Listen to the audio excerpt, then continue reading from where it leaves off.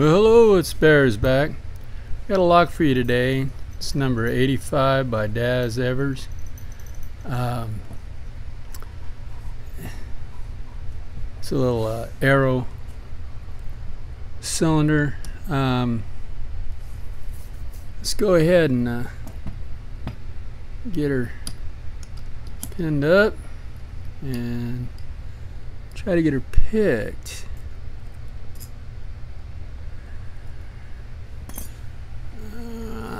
Okay. Usually I cut the video to do this part, but yeah, what the heck. Sits in there solid. It's mummied keys, so we just have to do it this way. Um,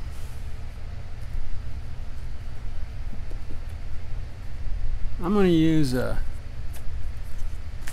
uh, Daz Evers pick on this one, I think. Uh, I think I'll use the Pangawood. Awesome pick, man. I gotta tell you. So, let's give it a try. Since these are kind of like Schlage keyways. Um,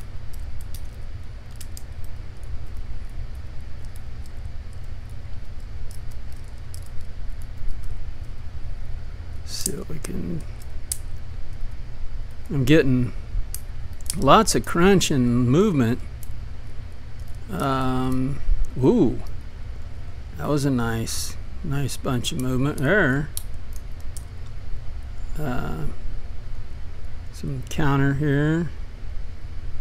Uh-oh it's not finishing up so I may have overset that. See if I can get that.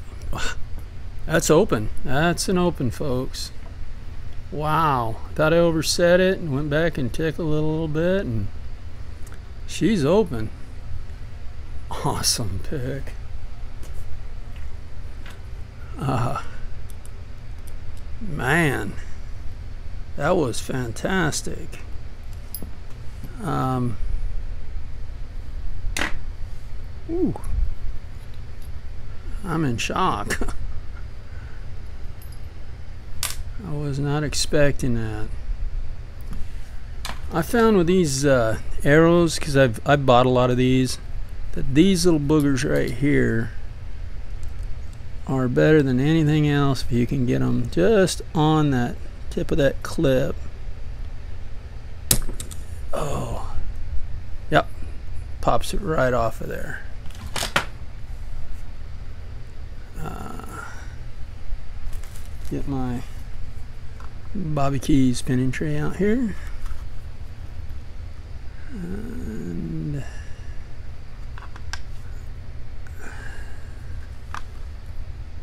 ooh, hey, turn it back a little bit.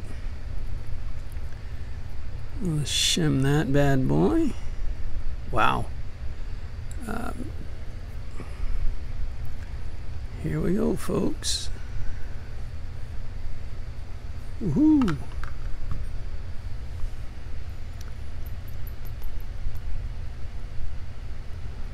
Wow, look at that pin there, there. That one's deep. Number one. Number two, overset trap.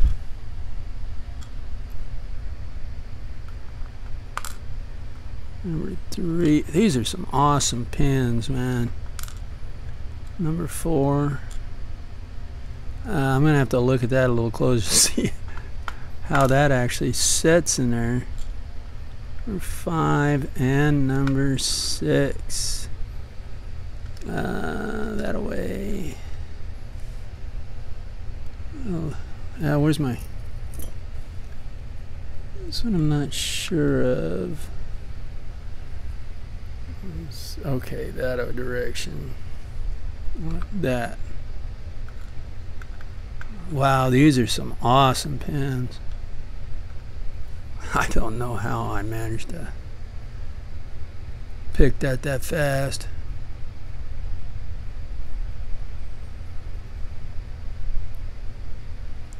I got that. Huh. well let's see if we can just keep twisting it now. It's out of the way, so. Oh, there it is. Okay. Shim's out. Um,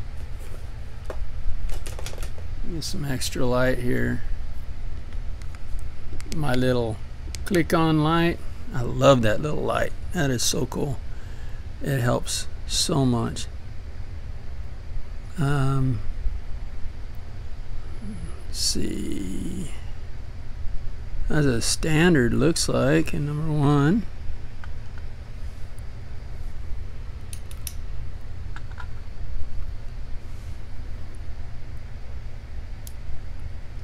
Standard looks like in number two. Interesting.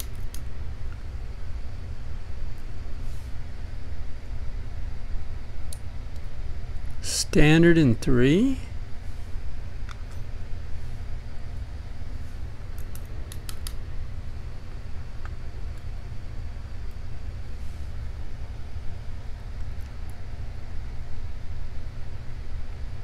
Ah. Serrated in four.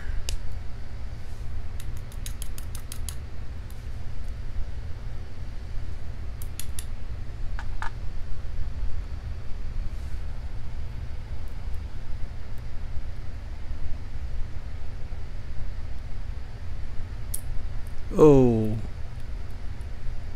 Shoot. I didn't see how that one popped up.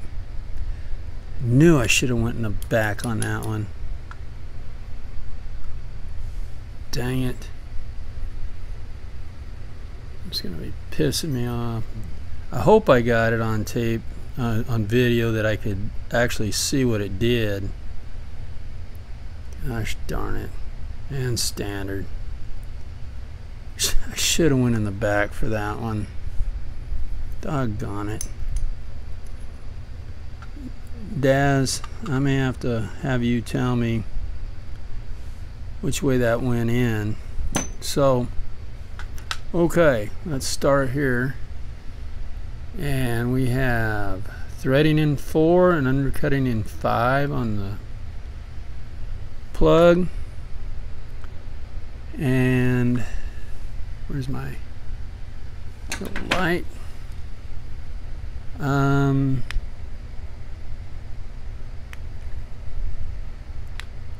I'm not seeing any modifications at all in the top. Um, so it looks like a standard standard top. Uh, let me show you the pins. I am I'm gonna have to go back and I'm gonna have Daz tell me how he thinks this went in. Or I'm gonna look at this video and see how it sprung out of there. But I would almost guess that he kind of had it in that direction. And so here's our bottom pins. Real work on these pins. They're awesome and a bunch of standards and then just the only two on top is these two serrated multi-serrated this kind of spooled. So I kind of think that's the way it went in but Daz you can let me know um, how that worked. And I'm thinking the reason I'm thinking that is because if we take the bottom pin in number five which is undercut have a nice undercut there. If you were to use this spool, okay, focus, you were to put that spool in there, that would more or less hang up really well right in here. See, it sits way down in there, so that would really hang up a lot better right there. So that's why I'm thinking that's the way that was in. Okay, well, that's what we have for Daz Evers number 85. Uh, thanks for watching. Um, stay legal and have fun, guys. Bye.